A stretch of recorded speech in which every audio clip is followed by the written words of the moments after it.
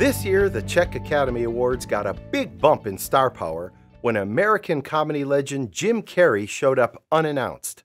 The crowd erupted in applause as he opened the ceremony with confetti and his signature smile. It was only after the show that the truth came out. It wasn't Jim Carrey at all. Instead, a look-alike had pulled off an elaborate ruse, fooling the producers. But Hollywood isn't the only place where everyone is not who they seem. Jesus warned his followers of the same thing.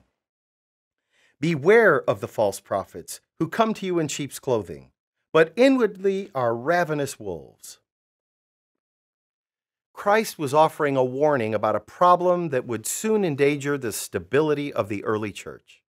Over the first few centuries of its existence, the newly formed faith would face countless battles over its beliefs about everything from the nature of God to Christ himself and what it meant to follow him. Heresies like Arianism, modalism, or Gnosticism were fiercely debated and defeated as the early church leaders fought to establish a firm foundation of doctrine about what they believed and why. Now, like the faux Jim Carrey, these false prophets weren't always obvious. Often they came from within the church itself. And while they looked and sounded like Christ followers, subtle differences in their beliefs about God were more than enough to put them at a dangerous distance from the teachings of Christ.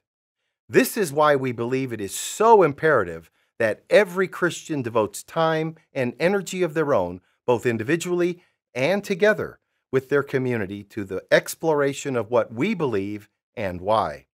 Doctrine forms the bedrock of our faith, and in order to keep that foundation solid, we must dedicate ourselves to deepening and preserving our understanding of it. Only then, along with the guidance of the Holy Spirit, will we be able to correctly judge which teachings are true and which are merely heretical celebrity lookalikes. I'm Joseph Tkach, speaking of life.